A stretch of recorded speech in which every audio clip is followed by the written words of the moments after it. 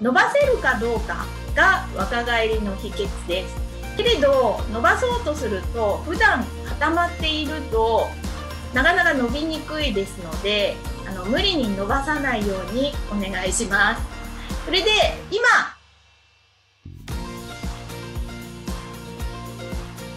はいでは早速始めていきたいと思います。えー、肩をほぐして二の腕を鍛えるにはということで、〇〇〇とまた書いてあります。肩の力を抜き、二の腕に力がつくには、矢印。何に力を入れられるようになったらいいんでしょうかでは3秒。1、2、3。はい。えー、〇〇の中には、下半身に力を入れられるという言葉が入ります。えー、後でももちろんお話しさせていただくんですけども、私が本当に下半身が弱かったので、えー、それをすごく実感しています。では、次いきます。肩の力が抜けて見え、腕全体に力が入れられるようになるには、矢印〇〇〇ができるようになる。ということで、美しく若返るには、この〇〇〇に何が入るでしょうか？では、1、2、3。はい。えー、伸ばすことができるようになる。えー、とても伸ばすというのが重要になりますので、皆さん今日はどれだけ伸ばせるか、自分自身の体を、えー、感じながら、ぜひ伸ばしていっていただきたいと思います。では、自己紹介をさせていただきます。坂井澄子です。で、えー、資格は、えー、作業療法士というリハビリ、えー、リハビリテーションの国家資格を持っています。そして、えー、ブレイントレーナー1級として、えー、10年以上、えー、させていただいています。えー、この二の腕という呼ばれているここの部分のじゃあ筋肉は何かというのがなかなかあのまあ聞いたことも詳しく聞いたこともないかもしれないので今日もえ詳しく説明をしていきたいと思います。えっとですね、上腕二頭筋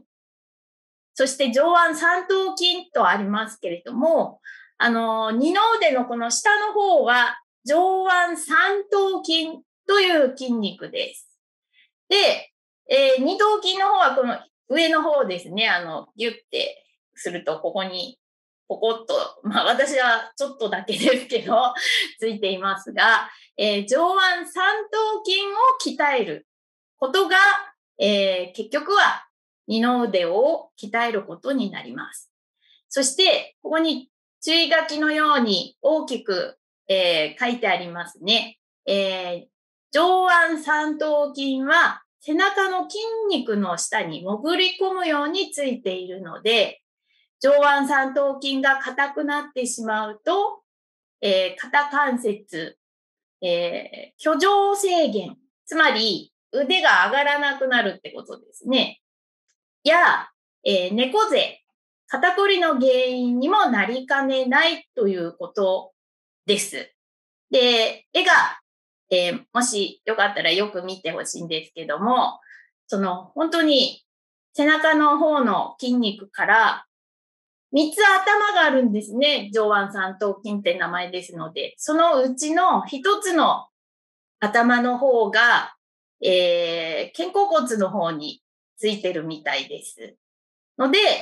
すごく複雑なんですね。頭が3つあるだけでも複雑な感じがしますけど、そのうちの1つがこう潜り込むようについているっていうことですので、それで肩甲骨と関係があって腕が上がりにくくなったり、背中が丸くなったりするので、えー、改めまして、二の腕をしっかり鍛えるということは、姿勢も良くなるということですね。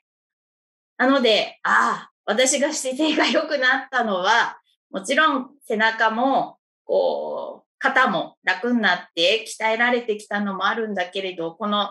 知らないうちにそんなにプルプルしなくなった二の腕も鍛えてきたから姿勢も良くなったんだなということが今回この絵を見てさらに納得がいきました。えー、皆さんも今日を機にぜひ上腕三頭筋のことも気にして、はい、いただければいいなと思いました。えー、ぜひ私にこんなに美しい上腕三頭筋二の腕がこう減りましたというのをお知らせしていただけるのがいつか来るのをお待ちしております。では、えー、そして今まであんまりあの、こうやって骨の写真を特に載せたことはなかったんだけれども、あの、今回この骨の写真を見てほしいなと思ったのは、こう、前側は、えー、あばら骨ですね、と鎖骨と肩が、あの、浮いてるような感じでくっついているんですね。で、くっついているのは筋肉が、こう、一緒にこういろんな複雑に合わさってついてるんですけども、後ろ側、肩甲骨の方が、なんか黒いポツというのがね、写真で見えますけど、つまりは浮いてるってことですね。筋肉がなかったら、それだけ肩甲骨を支えるものがなくなってしまうので、それで姿勢が悪くなる。だから肩甲骨周りの、つまり背中の筋肉がどれだけしっかりついてるかっていうのが大事だなということで、えー、まあ、なかなか普通に暮らしていたら、こんな骨の写真とか標本とか見ることはないとは思いますけれども、たまにはこうやってじっくり自分の体を思いやりながら骨を感じてみるのも大事かなと思いました。だから、あの、形は骨が悪いのではなく、えー、筋肉が均等についてないってことになります。で、上半身は特に筋肉で支え合っているっていうのがすごく感じられると思います。足の方はなんだかんだと言っても関節でこうぐっと支え合っているのが骨で支え合ってるっていう感じがイメージしやすいかと思います。反面、上半身はそうやって浮いた感じに骨があるので、えー、筋肉で支え合ってるんだっていうのを再確認していただけたらいいなと思います。えー、このようにね、写真見ながらじっくり自分の体の中をこうスキャンしてみたらいいんではないでしょうか。はい。じゃあ、それでは、早速ですが、えー、美しく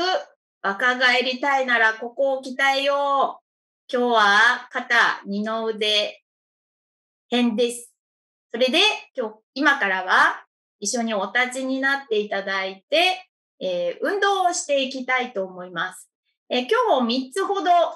えー、運動を用意しましたので、その3つをします。その前に、え皆さんの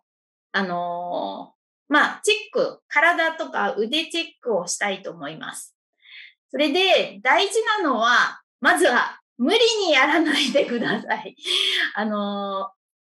体をこう若返りたいならっていうことで始めたんですが、あの、一番わかりやすく言えば、伸ばせるかどうかが若返りの秘訣です。けれど、伸ばそうとすると、普段固まっていると、なかなか伸びにくいですので、あの、無理に伸ばさないようにお願いします。それで、今、どのくらい伸ばすことができるのかっていうことを確認することがまず大事ですので、確認する作業をしていきたいと思います。ご視聴ありがとうございます。続きはヒルズウォッチで配信中。気になる方は、是非概要欄をチェックしてください。チャンネル登録